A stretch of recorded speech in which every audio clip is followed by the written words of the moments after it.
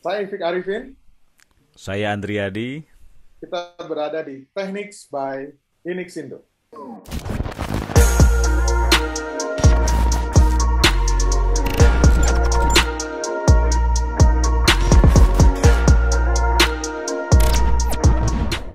Saya kedatangan seorang tamu yang masih muda, tapi sudah berprestasi demikian tingginya, terutama dalam bidang teknologi, uh, khususnya uh, Internet of Things. Dan tentunya yang lain-lainnya juga. Ini adalah Pak Andri Yadi. Halo Pak Andri Yadi, apa kabar? Halo. Ya, Pak Andri, Anda kan sekarang ya. uh, adalah CEO dan CTO juga of ya. Decodex gitu ya. Iya. Uh, itu sebuah apa ya perusahaan IoT dan oh ya Tiny Tiny oh Tiny ML Tiny uh. ML itu yang ini uh, apa um, machine learning betul ya? Yes yes machine learning on oh. on microcontroller ya. Oke. Okay. Nah hmm. tolong cerita sedikit dong mungkin awalnya gitu ya Pak Andri ya sebelum kita masuk ke IoT dan Tiny ML tadi uh, gimana ceritanya dari lulus SMA Pak Andri ke mana nih? Oke, okay, mungkin SMA-nya sedikit dulu ya. Saya okay. sebenarnya bukan SMA dulu ya. Saya uh, STM penerbangan. Hmm. Uh, STM penerbangan negeri Bandung, hmm. dekat sini, dekat Pejajaran sini. Okay. Uh, lalu waktu itu industri penerbangan mungkin lagi kena hit ya tahun uh, 98. Hmm. Jadi begitu lulus saya akhirnya decide untuk lanjut kuliah aja deh gitu ya daripada kerja gitu karena mungkin waktu itu industri penerbangan sedang sedang kena gitu ya, kena uh, krismon waktu itu ya. So saya ya berusaha dengan cukup cukup keras ya untuk bisa akhirnya masuk ITB gitu. Wih. Okay. Ya, jurusan? jadi jurusan fisika waktu itu. Oke. Okay. Nah. nah, lalu?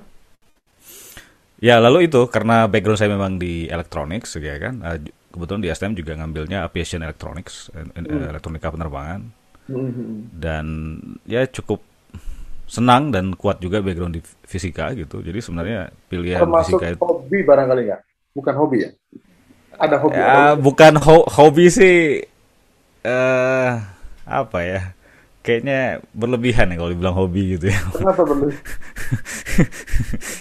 Enggak maksudnya orang kalau dibilang hobi fisika tuh kayaknya nerd banget gitu ya. Uh, tapi kalau kalau saya sih lebih lebih karena itu natural aja buat saya gitu ya. Maksudnya nggak banyak mikir, nggak banyak upaya terlalu besar gitu untuk. Toh, uh, itu juga penuh dengan formula-formula yang nggak Persis. Persis pak, maksudnya poin saya kalau saya dibandingin misalnya dibandingin biologi gitu ya, oh, ya, let's say gitu, atau kimia biologi. bahkan, mabok, mabok. ya tentunya fisika lebih lebih enjoyable ya menurut saya gitu. Iya, iya. Ya. Uh, dan dan dan sejak sejak kuliah, eh, sejak SMA itu sejak STM itu saya memang sudah sudah ini ya sudah aktif uh, programming ya gitu ya jadi sudah membuat program dan segala macam sehingga uh, rasanya fisika juga ini ya juga salah satu sebenarnya fisika atau matematika mungkin ya pilihannya cuman uh, di fisika dulu, bisa programming dan, dan lab-labnya itu sudah elektronik juga pakai pakai 74 LS apa uh, 74 LS Logic gitu ya? Enggak. Iya, iya. Kita coba pakai itu ya? Dulu kalau di STM saya pakai Zilog ya, Zilog 80 ya. Oh, Z80. Nah, Z80. Uh, itu belajar microcontroller. Iya, pakai assembler. Okay. Jadi waktu waktu di fisika belajar teknik digital tuh kayak saya ketawain tuh, wah saya udah belajar di STM nih gitu kan. Nah. Jadi gampang aja gitu kan, operasi logik ya segala yeah, iya. macam. Ya, yeah gitu sih mungkin hmm. no level programming untuk assembler untuk untuk apa chips controller gitu ya hmm. Itu, itu pakai masih single board komputer ya sifatnya bukan microcontroller iya sih sebenarnya ya waktu itu uh, saya mungkin waktu STM belum berkenalan secara langsung ya dengan microcontroller tapi memang lebih ke komputer ya komputer arsitektur kan yeah. uh, assembler dan lain-lain gitu um, sebenarnya baru baru kuliah ya itu berkenalan ya. dengan microcontroller gitu. Ngomong soal Zilog ya, nasibnya Zilog ini udah nggak ada lagi ya Z80. Kalau saya lihat kayak uh, eh, 6502 masih ingat ya Pak yang Apple punya itu. Orang masih kutak-kutik tuh 6502 sekarang. Oh iya iya. itu udah udah udah, udah kedengeran lagi, betul ya Pak? Uh, saya nggak ngikutin Pak kalau udah. Ini di luar ini ya. Uh, di luar kayak tahun sekarang udah nggak ngikutin sih. Mungkin kaitannya. Dulu, dulu, dulu terpaksa kali ya belajarnya, nggak ada pilihan. uh, kita kan uh, tahu ya, sebelum kita masuk ke IoT ya Pak Andri ya, yeah. kita tahu yang namanya SCADA ya, SCADA. Yes, yes. Terus yes. ada programmable, programmable logic controller gitu. Yes, PLC, yes. Ya. PLC ya. Itu itu kan mulai cikal bakal dari IoT sebetulnya, itu ya Pak, Pak Andri? Uh, betul, betul. Saya setuju ya. Uh, tapi gini, saya ngelihatnya mungkin IoT itu kan kenapa di, dicetuskan gitu ya. Uh, itu kan hanya terminologi atau word ya mungkin dulunya buzzword kali ya. Yeah. Di mana ketika uh, industri ya khususnya waktu itu mungkin industri supply chain atau logistik itu pengen ada sistem yang bisa mengkolek data automatically gitu ya dari perangkat gitu. Yeah. Uh, instead of rely on human untuk menginput datanya kan gitu. Jadi human versus mesin nih. Jadi daripada mengeril menggunakan yeah. manusia untuk menginput data, sekarang bagaimana perangkat itu meng mengkolek datanya sendiri gitu ya. Mungkin itu itu dulu idenya. Oke. Okay. Jadi in in a way uh, PLC atau SCADA mungkin mungkin sudah sudah seperti itu gitu ya. Sudah hmm. sudah sudah mengadopsi uh, uh, thinking behind it itu seperti itu. Cuman kalau saya lihat uh, keyword kedua adalah uh, internet ya kan. Uh, internet. internet ya internet ini adalah standar. Internet. Oh ya. Ya, internet ini adalah open standard kan gitu. Dulu TCP/IP. Dulu setahu saya sudah ada jaringan, tapi proprietary hmm. dari perusahaan. Proprietary. Ya. ya. Misalnya di pabrik apa mobil Toyota gitu, mereka pakai mereka punya jaringan sendiri dan nggak exactly. bisa keluar. Bisa, aja gitu. Ya, interoperability-nya jadi jadi bermasalah ya. kan. Tapi kalau sekarang udah over the internet ya, jadi semuanya suka lewat internet ya. Ya.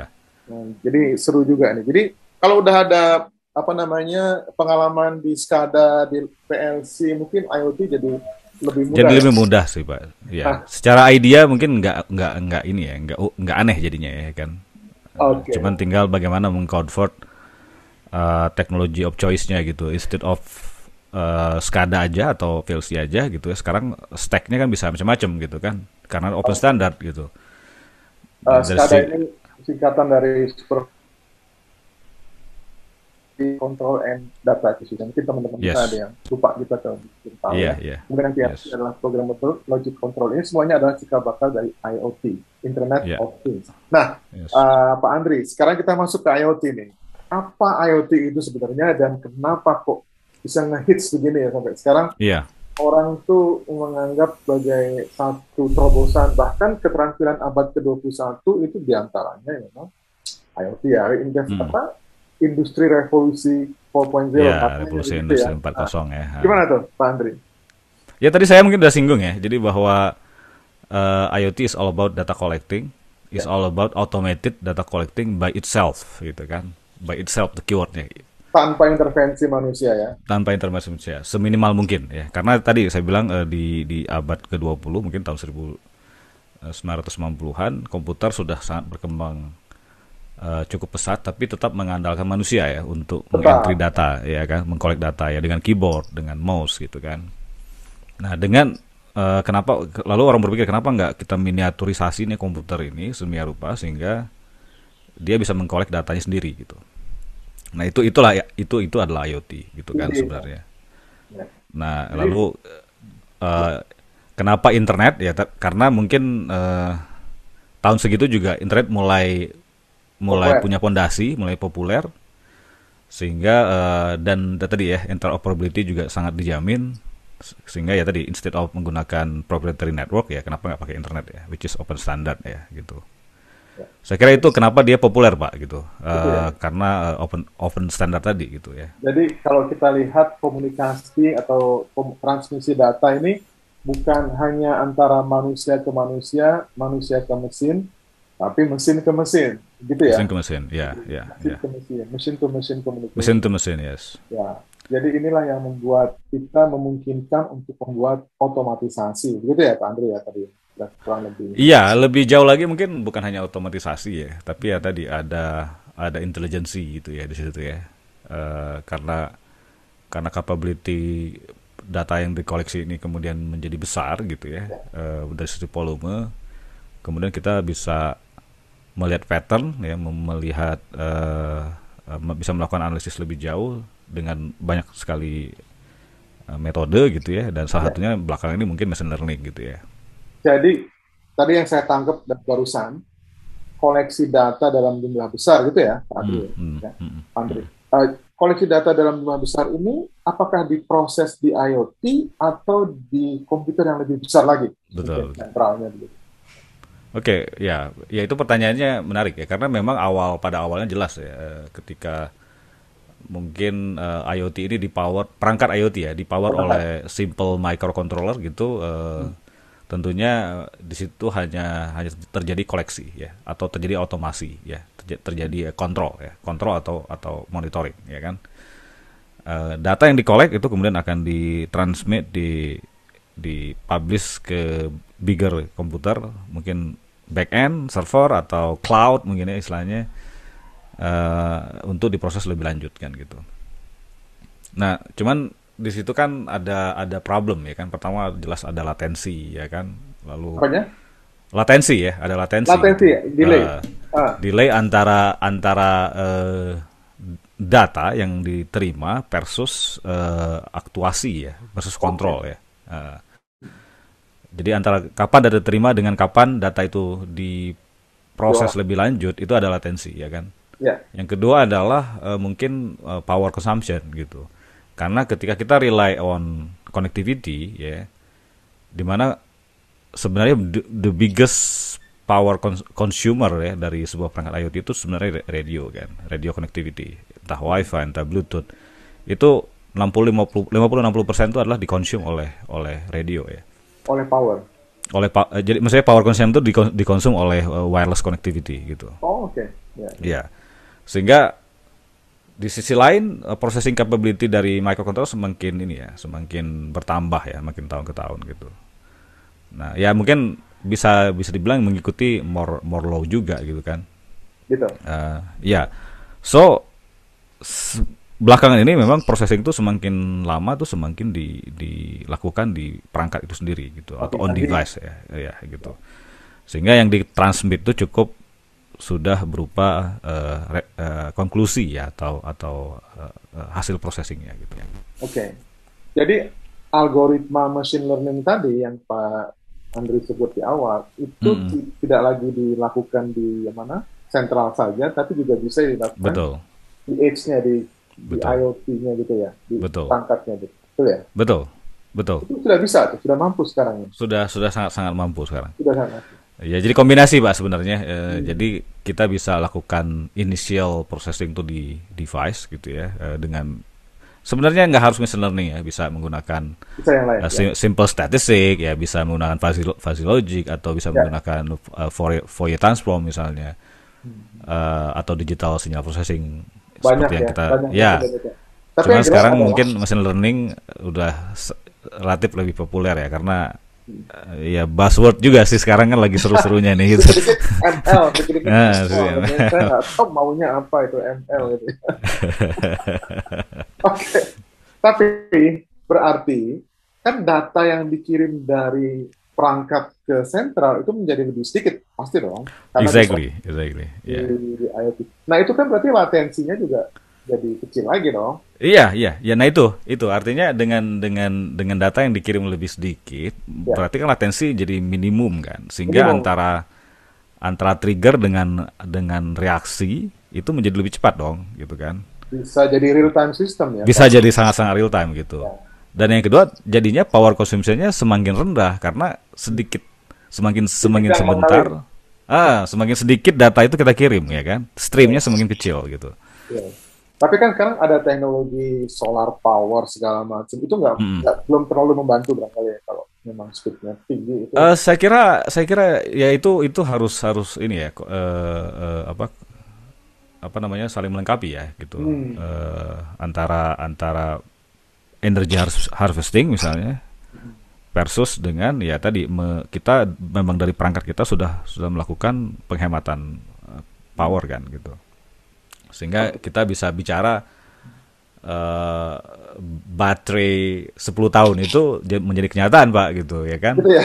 Uh, bukan bukan cuman marketing jargon yang dipasang yeah, yeah, yeah. oleh telco ataupun operator operator jaringan gitu. Uh, yeah, yeah. Jadi 10 tahun tuh memang ter, memang nyata gitu. Yeah. Itu adalah itu adalah effort sebenarnya harus kita kita keluarkan ya, baik kita mengoptimize firmware gitu kan ya, dari ya. sisi perangkat IoT-nya, perangkat IoT-nya sendiri secara hardware harus kita optimalkan. Jadi kuncinya uh, tetap di developer ya. Developer ini punya kekuasaan peran peran besar sekali. Iya, uh, besar sekali. Besar. Dan hmm. ini dong harus dipelajari dong oleh anak-anak Indonesia kita dong. Betul nggak? Pasti, pasti, pasti banget. Pasti oh, banget. Tuh, tinggal minum saya kopinya. Jadi edukasi yang terbaik gitu ya buat IoT iya. ini. Gimana nih Pak? Jadi, jadi sebenarnya firmware, uh, sorry, IoT ini kan salah satu komponennya adalah firmware. Tadi tadi pagi saya baru ngasih uh, seminar ya tentang firmware gitu ya, firmware. development. Uh, firmware itu sangat-sangat penting karena itu itulah uh, apa? Artinya secanggih-canggihnya hardware ya tanpa adanya firmware ini atau software ini sebenarnya kan ya basically nggak nggak berjalan ya, nggak ada fungsinya gitu. Yeah. Tidak tidak tidak mempunyai fungsionalitas. So uh, dan praktis praktis dari pembuat deployment ini ya tidak jauh berbeda dengan software engineering pada pada umumnya gitu ya. Iya. Nggak jauh beda ya, logiknya sama. Gitu ya. logiknya ya. persis sama ketika kita menggunakan istilahnya design pattern, kita menggunakan object oriented programming Logik. itu exactly sama. Event driven uh, atau interrupt sensor. Iya, event event driven base atau uh, mungkin nggak sampai in, in, in, apa uh, independence injection misalnya mungkin nggak sampai ke sana, ya. tapi uh, tapi praktis-praktis yang paling yang sering kita temui di software development itu terjadi gitu ya eh, bisa kita gunakan lagi nah yang jadi yang yang jadi masalah adalah mungkin eh, pembuat developer kita mungkin berangkat dari eh, jurusan tertentu yang tidak tidak ini ya tidak dikuatkan uh, software engineeringnya mungkin gitu uh, oh. tapi lebih ke electronics engineering ya which is okay gitu tapi ya, saya ya. kira ya itu harus dikejar gap itu gitu ya kan programming coding hmm, programming ya. coding dengan best practice-nya ya Bu, bukan practice, practice. bukan maksudnya code kan karena karena pembayarannya semakin lama semakin kompleks gitu ya. ya. Uh, kita tidak bisa lagi menulis code dalam satu file aja gitu misalnya. Ya. Tapi kita harus pecah, kita harus komposisi, kita harus asosiasi ya. dengan kelas, dengan objek, dengan ya. Uh, ya tadi desain pattern dan seterusnya gitu. Nah, jadi gini kalau saran anda ya untuk universitas ataupun akademik yang punya kelas IoT sekarang udah mulai banyak ya Pak Andri ya. Banyak, uh, banyak. Kurikulum IoT masuk ke universitas kira-kira apa sih yang harus mereka pelajari at the beginning level gitu ya? Apakah hardware sensornya, aktuatornya, uh, programmingnya, atau utilisasinya? Kira-kira dari mana kita harus mulai? Hmm. Ya tadi eh, pertanyaannya menarik pak karena tadi pagi tadi saya bilang saya ngasih seminar tentang firmware adalah salah satu yang komen atau bertanya itu ada dosen gitu dia bilang wah jauh sekali pak antara yang saya ajarin dengan dengan yang bapak ceritakan ya saya saya, saya saya saya cuma bilang prihatin saya saya prihatin pak gitu oh. maksudnya prihatin di sini uh, maksudnya ini satu satu PR gitu bagi kita semua ya baik kita sebagai edukator sebagai praktisi sebagai yeah. Ya. uh, apa namanya ya players gitu ya mungkin di yeah. IoT ini dari mana mulainya saya kira semuanya harus dimulai berbarengan gitu ya antara antara hardware engineering gitu ya, ya electronics engineering yeah. dengan software engineering, programming itu saya kira harus dikuatkan dari dua sisi itu um, pada level yang paling awal gitu ya. Jadi nggak hanya, ya? Iya harus harus barengan lah gitu. Uh, dan yang kedua saya kira harus walaupun penting belajar algoritma and pemrograman gitu kan belajar matematiknya ya istilah pondasi keilmuannya dikuatkan tapi uh, ya tadi saya kira harus harus melihat tren juga ya gitu ya. Jadi tren. mungkin ada ya misal misalnya ada entah entah bentuknya kapital selekta atau bentuknya mata kuliah pilihan yang yang yang belajar kepada tren gitu. Karena misalnya kan kita lihat di kampus mungkin masih belajar tentang Arduino APR ya. gitu ya. Uh, basisnya APR atau berbasis Arduino Uno ya. gitu. Ya nothing wrong with Arduino Uno tapi tapi not much we can do dengan tuntutan sekarang gitu ya. Dengan okay. tuntutan tuntutan firmware development yang sekarang gitu. Uh, di mana tadi ya multi sensor multi aktuator bahkan kita pengen ada mesin learning di dalam microcontroller. Itu kan Betul. out of di luar pikiran kita mungkin pada lima tahun 10 tahun yang lalu gitu kan. Ya. Sekarang lebih kompleks. Itu, Ya sekarang lebih kompleks. So artinya eh, kompleksitas itu memerlukan eh, infrastruktur ataupun eh, platform yang juga eh, kompleks juga kan gitu. Yang aktual uh, ya. Supaya yang lebih aktual ya. ya. Ya intinya intinya aktualitas dari ya tren ini harus diterapkan gitu ya. Ya mungkin bisa dikombin dengan ya training di luar atau dengan dengan misalnya apa uh, kerjasama dengan industri ya dalam bentuk ya, riset bareng ya, misalnya. Yang bergerak di bidang itu. Nah, ya. ke, ke industri ini Pak Pak Ardi, saya Pak Ardi, saya tahu persis adalah salah satu IoT creator gitu ya. Jadi ada ada microcontroller yang Dicodex produksi, betul ya Pak ya? Betul betul. Nah, dan saya kagum banget gitu loh kalau kita main itu kan itu produksi dalam negeri ya dalam, dalam negeri ya. ya dalam negeri jadi kita ya. harusnya berbangga kita bahwa kita ada IoT kreator di sini dan terutama yang saya lihat ada aplikasi nyatanya juga yaitu hmm. dengan apa istilahnya ya eh, sapi yang diberi kalung itu apa namanya pak bahasa Inggrisnya apa ya? Uh, uh, ini ya livestock monitoring gitu ya. Livestock uh, monitoring itu uh, jadi kita memonitor sapi yang begitu banyak jumlahnya hmm. dan yang dimonitor itu ternyata cukup kompleks ya pak. Nggak cuma cukup, keberadaan cukup. dia di mana gitu iya, ya. iya. tapi juga kesehatannya kesehatannya gitu ya. uh, cuaca gimana tuh? Pak Agri cerita sedikit dong kok bisa gitu? Bisa ke sana gitu? Uh, ya, uh, pertama semua itu berangkat dari dari uh, apa keresahan, wih keresahan gini uh, bahwa bahwa tidak ada solusi-solusi yang mungkin uh, cukup cukup uh, dalam perspektif kita mungkin cukup implementable ya gitu ya. Saya saya yakin kampus-kampus uh, untuk untuk solusi apa monitoring sapi itu mungkin udah banyak yang develop juga ya gitu. Hmm. Cuman cuman mungkin tidak ada yang belum sampai ke market yang yang juga benar-benar secara baik itu secara technical, secara perangkatnya mungkin lebih compact ya, secara yeah. function lebih lebih fungsionalitas gitu ya. Uh, dan komersial yang penting ya gitu ya. Jadi kita nggak cukup berhenti sampai lab, tapi kita harus jual gitu. Nah akhirnya kita coba coba bikin deh gitu ya. Ditambah waktu itu memang ada ada kebutuhan juga. Waktu itu bareng bareng Kementeri, Kementerian Pertanian juga kan. Nah, kita coba bikin sesuatu gitu. Jadi awalnya awalnya dari situ dan dan sebenarnya kita terjun ke machine learning on device atau tiny machine learning itu karena karena produk ini juga gitu. Uh, gitu ya? Karena kita ingin karena kita ingin mengimplement uh, behavior recognition gitu ya dari sapi uh, atau activity recognition ya dari sapi itu kita pengen secara real time langsung diketahui tanpa ya. tanpa kita harus kirim data data mentahnya ke ke server kan gitu okay. ke cloud. So kita implement machine learning di situ. Jadi sekaligus, sekaligus kita belajar sekaligus kita memang membuat sesuatu gitu merealisasikan gitu hmm. implementasi real gitu ya iya iya iya ya itu Lalu, mungkin cerita ininya sih ya cerita awalnya sih gitu ya ya, ya. Nah. yang dimonitor apa aja tuh pak kira-kira pak ya sebenarnya sebenarnya selain tadi keberadaan nih uh, keberadaan uji mungkin relatif lebih mudah dengan mungkin tracking uh, tracking sistem ya dengan ya dengan GPS dengan Berarti ini sebenarnya practicable untuk transportasi gitu ya kalau kita mau tracking Sangat. saya punya misalnya punya bus ada 15 unit saya mau bikin tracking sistem bus saya di mana aja gitu. bisa hmm. ya bisa bisa sekali itu bisa ya, teknologi sekali. teknologinya ya secara basis secara fondasi sama ya itu sama ya Uh, nah selain itu ya kita tadi mencoba merecognize uh, behavior sapinya gitu. Misalnya berapa lama sapi itu tidak makan, tidak yeah. tidak tidak duduk ya, tidak berdiri dan seterusnya. Itu akan mempengaruhi uh, kinerja atau performance dari sapi itu sendiri ya. Sehingga dengan adanya data yang tersebut, dengan adanya dalam tanda kutip insight tersebut gitu, kita bisa merekomendasikan ya kepada pengurus peternakan bahwa hey dari sekian banyak sapi lo ini ada sap, beberapa sapi yang secara performance tidak bagus, mungkin sakit gitu, mungkin perlu mendapat perhatian lebih gitu. Nah, artinya mungkin kalau kalau sapinya hanya 10 20 ekor sih nggak terlalu ber, berpengaruh ya, tapi ketika kita bicara 1000 2000 ya mungkin itu akan oh, sangat, iya. sangat membantu gitu. Kita bicara banyak ya, 2000-an. Hmm.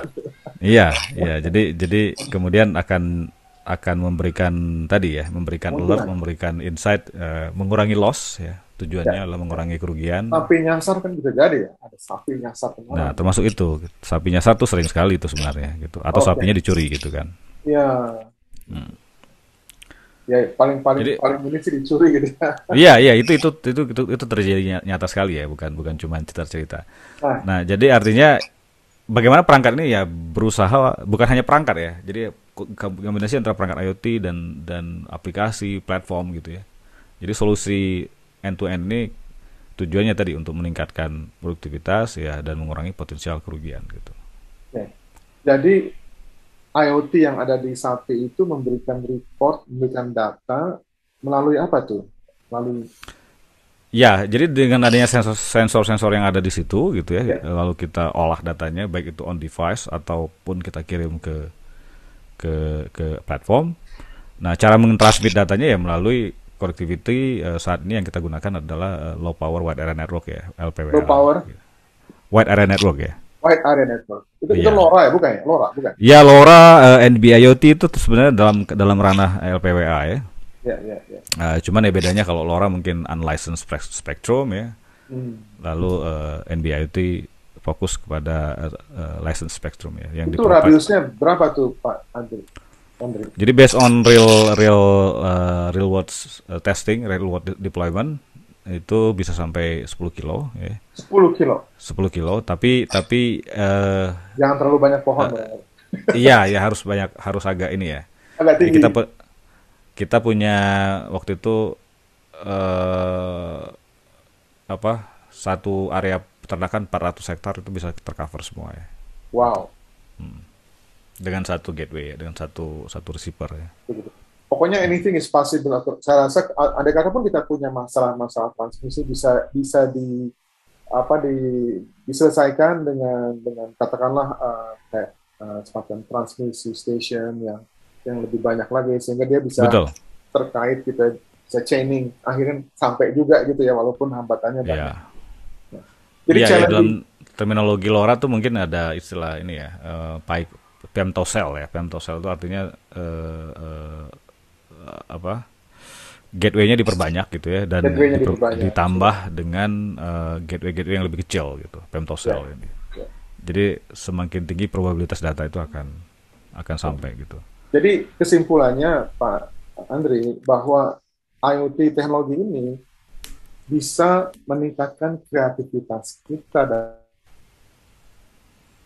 inovasi ya kan? Betul dong.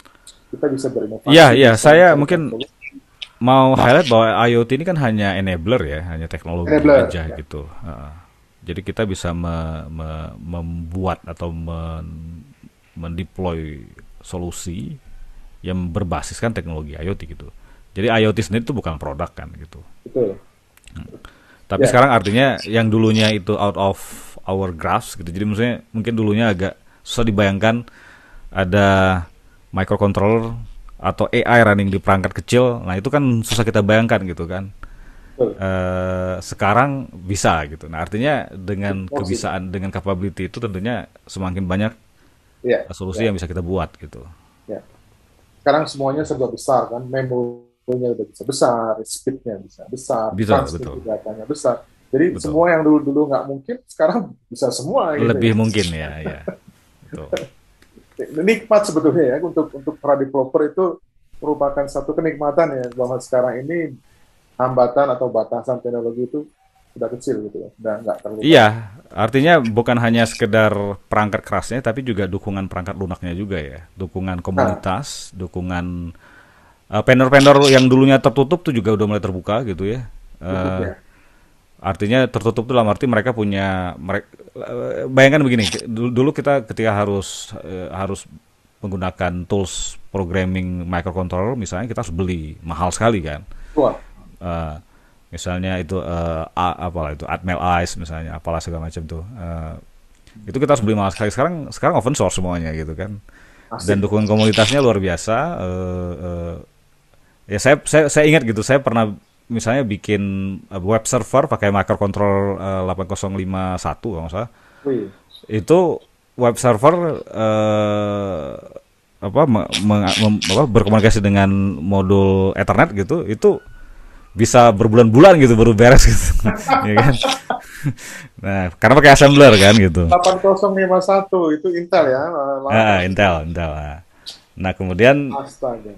Dengan dengan sekarang misalnya pakai ESP32 misalnya itu bisa kayak cuman 15 menit udah jadi itu semuanya web server plus Betul. plus uh, connectivity-nya kan gitu pakai IDE ya pakai IDE-nya gitu sampel code-nya udah lengkap gitu ya tapi kita itu harus ngerti juga ininya apa HTTP protokol harus gitu. Nah, itu dia. Once once kita udah mulai customize gitu ya. kan. Nah, di situ di situ mulai konsep-konsep yang kita pelajari itu menjadi sangat sangat penting gitu. Ya. Back to basic jadinya ya HTTP protokol, MQTT protokol gitu kan. Bahkan socket programming itu jadi juga kadang-kadang sangat sangat ya. penting gitu. Ya. Network ya. Uh, sebetulnya inilah yang kita rekomendasikan kepada anak-anak muda tentunya ya yang yang yang, yang punya semangat tinggi untuk belajar teknologi. Ini hmm. kesempatan banget gitu ya untuk berinovasi di IoT, terutama di software. Yes, yes, yes. Jadi kita encourage them gitu ya. Gimana? Ayo, yes. ayo dong, ayo dong kita belajar yes. programming, belajar coding. Itu yes. bisa bisa mungkin sekarang masih masih dalam bahasa C, Python, yeah. atau bahkan yang baru uh, Go language misalnya. Iya, semuanya Go atau Rust ya, Rust mungkin juga ya, terkenal juga. Ya, betul. Jadi semuanya sebetulnya apa pun programming language-nya, logiknya sama gitu. Logiknya sama, ya. Cuma cuma variannya aja beda-beda gitu hmm. ya.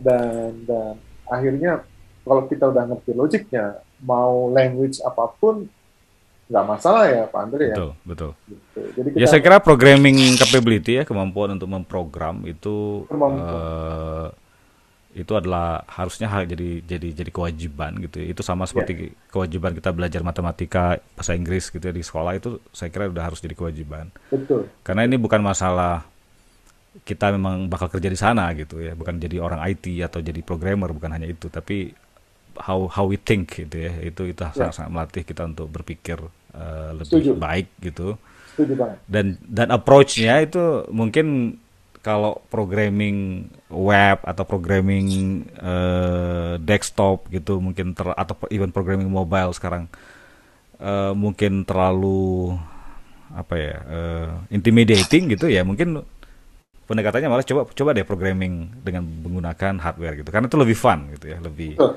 lebih ya ngeliat ngeliat led nyala nyala itu kan waduh lucu lucu sekali itu gitu. Kalau lednya nyala senang. Apalagi kalau kita bikin traffic controller simulation ya. Nah, nah itu dia. Rewardnya kan langsung kan gitu. Ah, kuning. yeah. Sensor, ya, sensor ya. Sensor matahari, sensor apa? Cahaya gitu ya. Iya. Yeah. Oke, okay. yang terakhir nih Pak Andri, uh, tentang IoT security. Jadi walaupun, hmm. walaupun bagaimana tentunya kita harus uh, berpikir juga keamanan dari peralatan IoT ini. Apakah yeah yang mana yang yang kita ragukan? Keamanan fisik kah? Keamanan uh, transmisi data kah? Mm. atau gimana nih Pak uh, Andre? Melindungi IoT dari akses yang tidak berwenang. Iya. Uh, disclaimer dulu ya saya saya tidak pernah uh, mengklaim sebagai ahli security ya jadi jadi uh, jadi jangan ditelan mentah-mentah mungkin harus dicek juga ininya uh, uh, saran saya gitu ataupun pendapat mungkin ya. ya. Uh, cuman mungkin betul bahwa bahwa IoT security di IoT itu eh, biasanya atau seringnya jadi jadi afterthought ya. Jadi afterthought itu maksudnya dipikirin belakangan gitu ya. ya. Nah ini ini mungkin akan jadi masalah nanti ketika kita bicara scalability ya. Ketika kita udah scale up our solutions, nah itu akan akan jadi problem. Uh, jadi saya kira uh, kalau bicara bagusnya tentunya end to end ya kan? Dari sisi dari mulai dari perangkat ya dari mulai dari uh, level ter terkecil which is microcontrollernya itu harus sudah di diterapkan best practice dari security gitu ya. All the way dari sampai ke connectivity sampai ke platform gitu kan. Nah tentunya best practice best practice security yang sering kita pelajari saat ini atau kita pernah dengar itu tentunya semuanya bisa diimplement ya gitu. Baik dari sisi uh, connectivity dari sisi platform tuh itu sama aja dengan software engineering atau so, apa uh, sama, DevOps ya? kali ya sama aja gitu nggak ada bedanya mungkin yang sangat spesifik adalah di uh, sisi perangkat ya kali itu itu akan itu banyak sekali gitu uh, apa potensi-potensi uh, tampering gitu kan potensi-potensi untuk uh, melakukan kalau ya, kita taruh di mana lalu dicuri gitu kan susah ya? betul ya? Nah itu tadi kan physical mungkin ya. Uh, isunya mungkin fisik uh, fisika Fisik. apa secara fisik itu kita akan akan terekspos ya kan? Maksudnya perangkat kita kan akan terekspos ya, uh, ya, ya. bisa diambil ya kan? Setelah diambil mungkin bisa di di reverse engineering ya kan? Bisa di bisa di uh, apa dibaca flash storage-nya. Jadi konten dari dari data maupun program ya. itu bisa dibaca secara baik itu secara mudah ya melalui misalnya let's say uh, debugging, ya? UART ya melalui debugging uh, tools gitu menggunakan UART ya, menggunakan serial gitu ya. atau jailing interface misalnya itu kan bisa bisa sangat mudah sebenarnya gitu ya di di ini di apa dibaca gitu dibaca kembali kemudian dari situ biasanya ada ada aja gitu data yang bisa di bisa ya, di ya. diambil dimanfaatkan ya. untuk kepentingan orang lain. Ya. Nah di situ security di, di level itu udah harus kita perhatikan gitu. Jadi ya. enkripsi jelas ya kan, enkripsi harus kita implementasikan. Uh, enkripsi sama aja kan dengan dengan sama aja gitu ya, sama jadi, aja dengan jadi dengan enkripsi pada umumnya enkripsi hashing semua yang sudah ada yang sudah beredar bisa hmm. di aplikasi bisa diimplement bisa diimplement cuman itu harus disupport juga ya oleh oleh platform microcontrollernya ya gitu oh. maksudnya nggak semua nggak semua microcontroller punya capability untuk melakukan enkripsi kan dia tidak punya uh, ciphernya gitu ya misalnya apa itu ada salah, salah satu part di microcontroller yang melakukan khusus untuk melakukan enkripsi kan gitu okay. ICE misalnya atau uh, yang lain-lain. Nah, artinya itu juga penting dalam kita memilih platform microcontroller apa yang ingin kita pakai gitu kan. Uh, Oke. Okay. Ketika Kalau untuk jadi concern. Okay. Uh, banyak banget yang bisa kita bicarakan hari ini. Hmm. Hmm. Waktunya udah habis nih Pak uh, yeah. Andre. Uh, apa namanya? Uh, mungkin terakhir uh, kaitannya dengan dengan edukasi sih ya uh, tadi kita udah jelas kita belajar IoT dari yang simple-simple aja lah koneksi ke mana internet kemudian apa tadi membuat web server di microcontroller barangkali ya kemudian apa namanya mengoperasikan LED uh, eh, kemudian apa sensor-sensor yang bisa dipakai gitu ya. Lalu apalagi kira-kira supaya funnya ini terus apa namanya bisa dinikmati oleh para siswa atau anak-anak muda yang sedang belajar ini? Kira-kira apa resep-resep ataupun saran-saran Pak Andri? Ya saya kira yang yang tadi mungkin saya selalu uh, saya termasuk mungkin yang cukup awal membicarakan tentang bagaimana possibility machine learning di microcontroller ya. Mungkin saya sejak 2019, yes. 2018 bahkan saya mulai yeah. bicara itu di di Indonesia maupun luar negeri gitu Uh, karena saya believe gitu dengan dengan masa depan konvergensi antara AI machine learning dengan dengan IoT ini gitu ya uh, itu adalah memang mereka harus harusnya konvergen gitu harusnya mengkerucut menjadi satu uh, apa satu terminologi teknologi lagi gitu.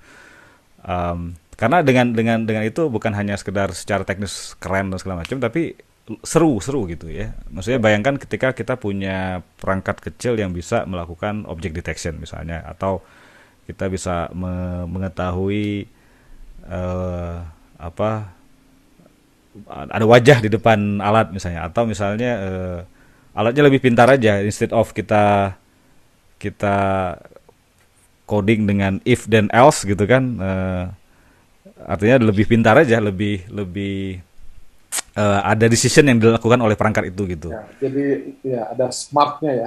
Ada smartnya itu. Jadi itu benar-benar smart tuh itu gitu. Ya. Jadi ya. kalau kita punya uh, apa misalnya data temperatur dan humidity itu nggak hanya sekedar di, di atas normal atau di bawah normal, tapi ini nyaman nggak gitu dengan uh, bagi penggunanya gitu. Karena itu kan berdasarkan data yang banyak kan. Kenyamanan itu kan relatif bagi setiap orang kan gitu. Ya. Jadi nah, memang. Nah, jadi Ya. Artinya decision itu bisa lakukan dilakukan di perangkat ya. Nah itu akan menimbulkan keseruan yang yang tersendiri ya dan dan kita tidak perlu belajar tentang machine learningnya gitu, tidak perlu Betul. belajar tentang uh, mathematicsnya dan seterusnya. Kita cukup menggunakan teknologi yang ada. Ya. It, Pokoknya itu kita mungkin ya menghasilkan produk-produk yang ada manfaatnya buat kita, buat masyarakat gitu ya. Ya, pasti ujung-ujungnya itu sih ya, ujung-ujungnya itu gitu. Belum lagi harus, di sektor kesehatan ya, banyak sekali ya, banyak sekali sektor-sektor. Yeah. IoT apa dijamah oleh IoT. Mungkin ya, semua harus, sektor kehidupan barangkali ya. Semua semua sektor kehidupan uh, ya. penting ya untuk dijamah oleh IoT dan saat ini memang uh, health health tech ya sangat sangat perlu solusi Wah, itu luar sekali. Biasa. Gitu. Itu luar biasa. Ya saat ini gitu. Kalau kita dengar cerita ceritanya gitu ternyata IoT. Yang ini aja mobil yang nggak pakai supir gitu ya, mobil yang bisa jalan hmm. sendiri. Itu juga luar biasa menurut saya karena banyak yeah, ya, yeah. sensor yang bekerja, kemudian betul. reaksi yang dilakukan oleh mobil itu sendiri. Betul, gitu. betul. Itu luar biasa menurut saya. Jadi memang kita masih di dalamnya gitu, ya, masih dalam proses apa namanya mempelajari, yeah. masih belajar semua, semuanya masih belajar, yeah. masih berkembang semua. Dan kita berada di tengah-tengah situ gitu. Jadi untuk anak-anak muda mungkin, ayo kita. Ya, yeah, it's time, it's time. Uh, masuk ke dunia IoT ini. Gitu ya, Pak Andri ya. Betul, betul Pak. Jadi, Kita tunggu teman-teman untuk uh, berkontribusi di IoT, bisa terjun di IoT dan machine learning AI gitu ya. Inovasi. Ya. Yang penting tadi ya user centric, bikinlah solusi yang user centric, ber, ber, berfokus pada user dan dan menyelesaikan masalah, khususnya masalah-masalah besar ya mungkin ya, yang terutama yang mungkin sekarang kita sedang hadapi globally okay. gitu ya. Oke Pak Andri, sudah okay. banyak informasinya. Terima kasih sekali Anda sudah bersedia untuk podcast dengan saya di sini. Kita apa namanya tentunya saya berharap masih ada kesempatan berikutnya gitu ya untuk level dengan lebih dalam lagi gitu ya tentang IoT karena masih banyak aspek-aspek yang belum kita singgung sama sekali. Tapi Betul. ini bagus untuk awal uh, apa namanya pemahaman IoT sendiri itu belum belum menyeluruh barangkali ya. Jadi kita mencoba untuk apa sih IoT itu sebenarnya kayak orang bicara tadi smart cities itu sebetulnya di dalamnya ada IoT semua ya, gitu, jelas, jelas yang bergerak gitu. Tapi kita nggak pernah menyadari hal itu dan jangan sampai ya. kita ini cuma jadi bangsa yang memakai produk luar negeri itu nggak baik. Gitu ya. Nggak baik. Ya kan? Pak Andri adalah IoT kreator dalam negeri. Ayo kita dukung, hmm. kita lahirkan, ya lahirkan uh, inovator-inovator yang dari dalam sendiri gitu kan. Jadi kita bisa berbangga hatinya. Pak Andri okay. ya. Siap. Saya terima kasih banyak. Kita kasih salam untuk teman-teman kita. Salam kompeten. Ya, satu, dua, tiga. Salam. Salam kompeten. Kompeten.